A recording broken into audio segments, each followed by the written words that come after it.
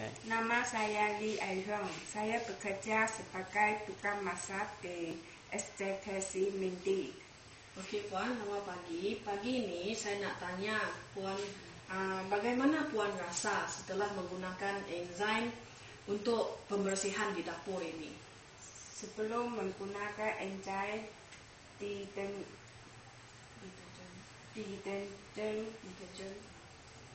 di deterjen digunakan 8 botol sebulan.